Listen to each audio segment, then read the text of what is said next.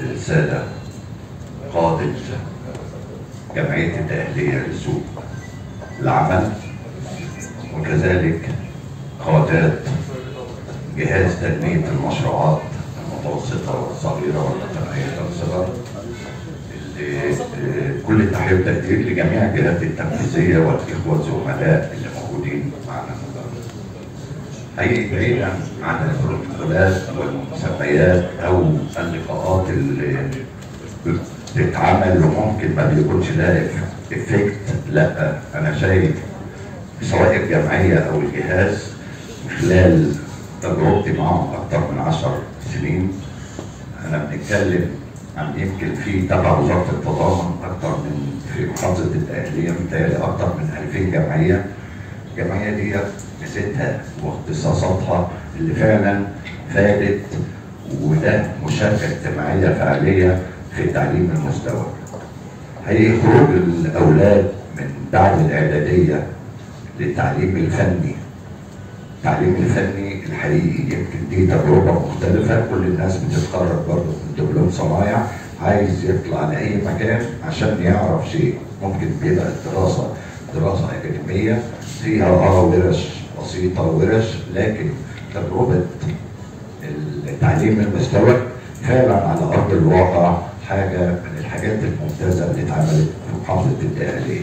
مش عارف هي مكررة على مستوى الجمهورية ولا لأ. أنا بنتكلم عن التأهلية بحكم بعض الشركات اللي لنا وهيئتنا وذلك بعض الشركات اللي ممكن بتتعامل معانا في نفس المجال. إيه، حقيقي لولا وجود الشباب دول اللي بيجوا فعلا بي- بيستمروا ثلاث سنين. اللي فعلا ال- الطالب اللي جاي فعلا يتعلم وده بيمثل حوالي 80% من الناس اللي بتطلع من الإعدادية أو اللي بتبقى مترشحة لبعض الشركات. في منهم أولياء أمور بيحسوا بالأولاد والأولاد جايين فعلا يتعلموا حاجة. دول فعلا بعد ثلاث سنين بيكونوا technician كويس وخاصة لو استمر ثلاث سنين بدون غياب بدون ده بيطلع technician أنا بمسك فيه.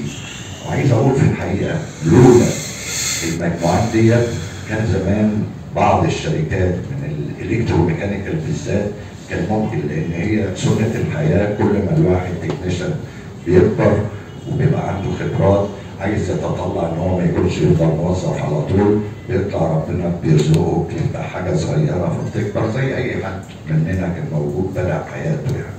فلولا اللي إحنا بال- بالمصطلح الفلاحي بنفرخ من خلال المدرسة دي كان بعض الشركات ما قدرت لأن هو رأس مالنا بصرف النظر عن الجهات الإدارية والمحاسبية بدون تكنيشن في هذا المجال الأعمال الفنية اللي بتمس في سواء في المشاريع أو في المنازل عند سعادتكم كان زمان الشركات دي تقلصت وما كانش تكبر بهذا المستوى يعني. ودي سنة الحياة بيخرج خمسة بتدخل مكانهم خمسة تانيين دول بيقعدوا. أنا لسه يمكن نتخرج السنة دي آخر سنة لهم والأولاد جايين بيكلمون عايزين بقى يبدأوا يتعينوا تعيين. ناقص حاجة في في المنظومة ديت ارتباط فعلا العامل أو الفني بالشركة ارتباط حكومي مهني من تأمينات من حاجة لأن فعلا هي المشكلة حاليا إن مفيش حاجة بتربط الموظف بال- بالشركة بيسيبك النهارده بيتوكل على الله ممكن ما تلاقوش بكرة أنا مش جاي النهارده بيقعد يومين ثلاثة خلاص ما عدتش بتشوفه ما فيش حاجة ربطاك ولا ربطان ولا هو ربطان ولا ربطان مين. الجديد النهارده في موضوعنا الارتباط بجهاز تنمية المشروعات اللي برضه كنت عملت معاه من خلال 10 سنوات سابقة في جهاز تنمية المشروعات قدامنا فرصة للشباب إن يجرب هو يمكن بيقولوا لأ ده بيطلع لا فعلا على أرض الواقع بيعمل مساهمه ميدانية بيطلع فلوس من مشاريع بيشارك وفي مشاريع كتير أعرفها تمت على إيد الجهاز. بيساعد في الحاجات الإدارية والمهنية لاستخراج التراخيص والكلام ده هو بيساعد. عنده أجهزة سريعة بيساعد فعلا على استخراج البطاقة الترابية والتراخيص وحاجة على أرض الأرض. ممكن يمول من أول 5000 جنيه لحد أعتقد 2 مليون جنيه المشاريع الصغيره والمتناهيه الصغيره. دي من الحاجات اللي إحنا فعلا بنجتمع عليها. بنجتمع ما بيتعملش فيها سوق اعلامي أو حاجة لا دي فعلا حاجة موجودة على أرض الواقع. وحكاية 350 أستاذ محمد أنا شايفها بالنسبة يمكن عشان مخصصة ل... لمهن محددة ومكان محدد فده شيء كويس وتجربة كويسة ما تتكرر وخاصة في جهات مانحة بتساعد على هذا الموضوع. في مجهود كبير بيتم من الجمعية ومن الجهاز. نتمنى في نهاية المطاف إن يكونوا ال 350 دول متوظفين في أماكن آه، كويسة وفعلا يجوا في المرحلة الجاية يعملوا نموذج محاكاة وتجربة حقيقية على أرض الواقع. مش عايز أطول عليكم لكن آه، كل سنة وأنتم طيبين ولكم مني كل الاحترام والتقدير. ونشوفكم دايما على خير. شكرا.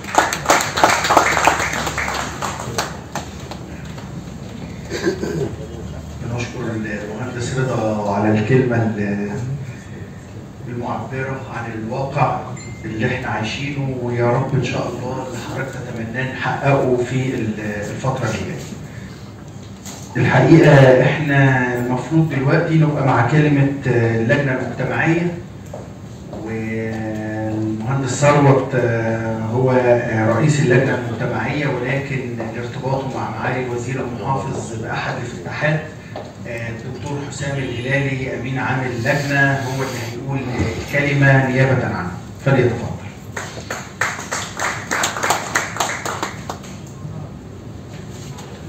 من الصعب من الصعب إنك تتكلم بعد قامات زي دي فأنا هحاول سامحوني إن أنا إيه هاخد كده يعني حاجة بس صعب عليا إن أنا أتكلم بعد أخويا آه، باشمهندس رضا وكل الناس الموجودة فاعذروني يا جماعة خدوا خدوني بقى إيه واحدة واحدة كده فمن الصعب. اولا آه، تحية كبيرة لرجال التربية والتعليم يعني يا ريت سقفوا سقفة كبيرة لأن الناس دي مشرفانا ومنورانا فتحية كبيرة ليكم أنتوا يعني آه، اولا أنا أخوكم حسام الهلالي بتشرف إن أنا أكون قدام حضراتكم قامات كبيرة جدا من التربية والتعليم.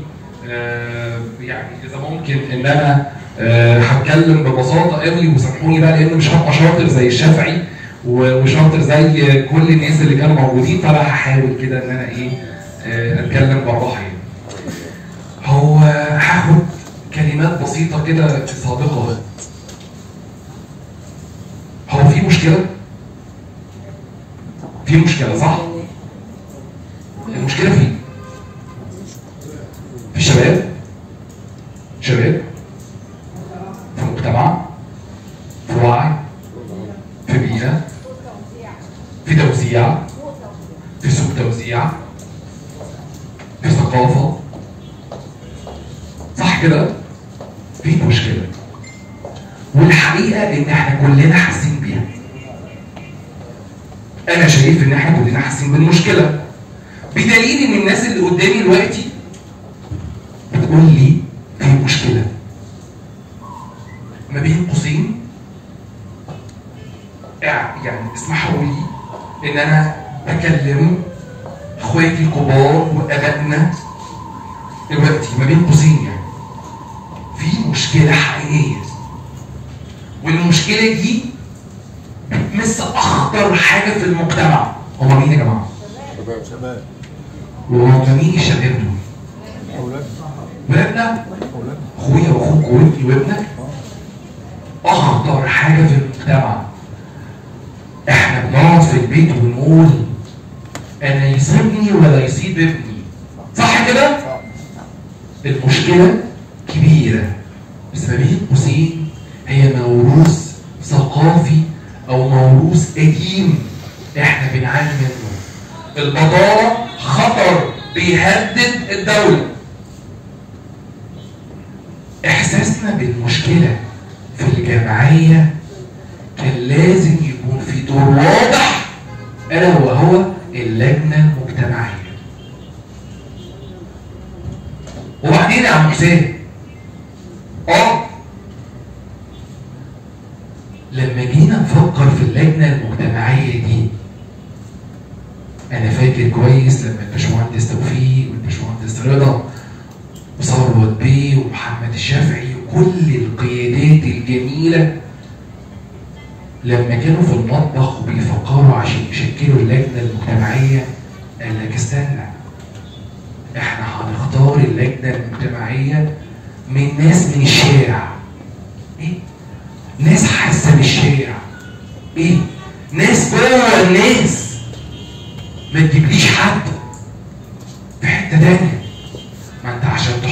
رؤيه واضحه لابد تكون عندك المشكلة وناس قريبة من المشكلة دي.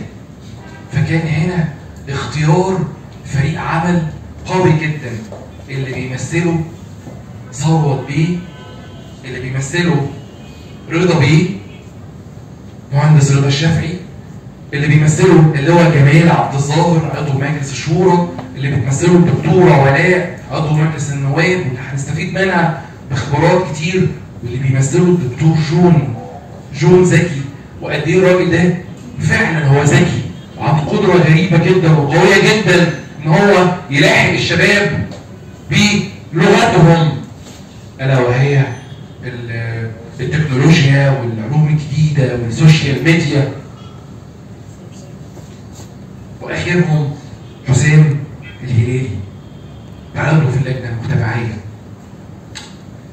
إيه عايز تقول إيه أنا هحاول ان أنا ما اطولش عليه والله اوعدكم ده ما بحبش اتكلم كتير بس عايز اعرفكم اللجنه المجتمعيه دي هي رايحه فين ويوسف بيه طبعا على راس المنظومه تحياتي لحضرتك بحبك جدا في الله وكل الناس الموجوده أنا اسف دكتور احمد كل الناس اللي موجودة ومنورينا فانا اسف لو أنا ما قلتش أسماء سامحوني والله طبعا. طيب عايز تقول إيه؟ أنا عايز أقول إن الشباب بجد كان هو قدامنا قدام عينينا. اللجنة المجتمعية كان عندها رسالة وايمان واضح بالتعاون مع الجهاز وبالتعاون مع الدولة. عشان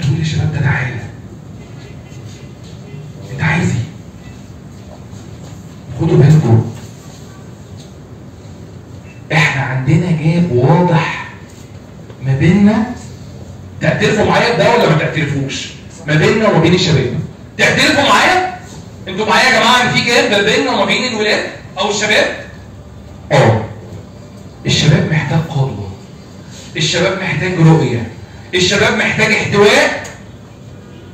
وكمان محتاج تدريب. وكمان محتاج تأهيل ومحتاج فرصة عمل دورنا هنا المجتمعية إن نعمل دراسة قوية لاحتياجات الشباب وعشان نعمل دراسة قوية كان في مجموعة من اللقاءات اللجنة المجتمعية كانت بتقوم بيها. بشكل تطوعي وبشكل خدمي الموروث الثقافي اللي هو البطالة اللي بنعاني منه من سنين جه الوقت والدور ان الدولة والرئيس والجمعية والمجتمع المدني. ومجلس النواب ومجلس الشورى. وما بين قوسين التربية والتعليم. إيه؟ والتربية والتعليم.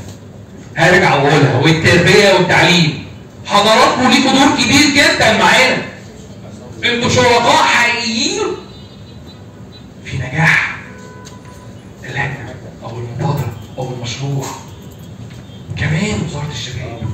وكمان الإعلاميين الموجودين اللي بيغطوا الحدث وبينقلوا الصورة دي للمجتمع مش هننجح لوحدنا مش هننجح لوحدنا. لابد نحط إيدينا في إيد بعض لابد نحط إيدينا في إيد بعض.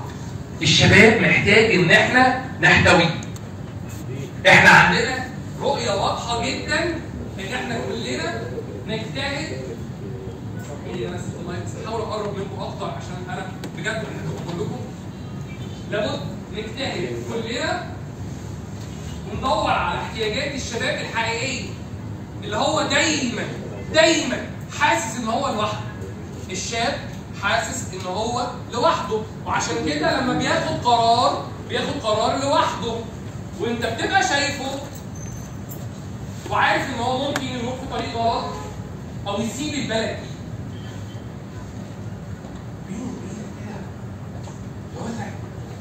هو أنا كنت العيد شغل هو كان حد ساعدني؟ هو كان حد فكر فيا؟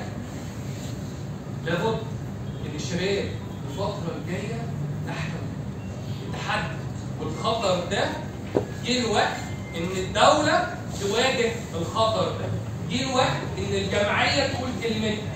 جه الوقت إن الجهاز يقول كلمته جه الوقت إن البرلمان والشورى والتربية والتعليم وكل جهات الدولة تحت مظله رئيس الدولة كلها والجهات المعنيه بتدعم. الشباب هو رأس مال المجتمع هو رأس مال البلد. هي الثروة الحقيقية للبلد. أنتوا معانا في الدوائر عندكم إيه؟ لازم تبقوا عشان ننجح مع بعض ونوصل لبر الأمان اللي هم شبابنا.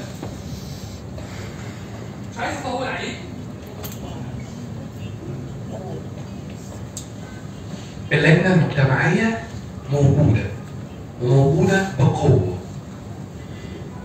وعندي قناعة وإيمان إن التربية والتعليم هتقوم بدورها وزيادة وزيادة. تحت زيادة دي يا ريس كتير. عايزين؟ عايزين خبرات؟ عايزين إمكانيات التربية والتعليم؟ موجودة. معانا. صح كده يا ريس ولا إيه؟ عليكم سامحوني لو طولت عليكم بس حبيت انقل حسام شاب ضمن الشباب اللي بيقول حقيقة حضراتكم حاسينها وشايفينها مؤمنين بيها وكممثل عن اللجنة المجتمعية. قامات كبيرة أنا بتعلم منهم. تحياتي ليكم وسامحوني لو طولت عليكم. شكرا لكم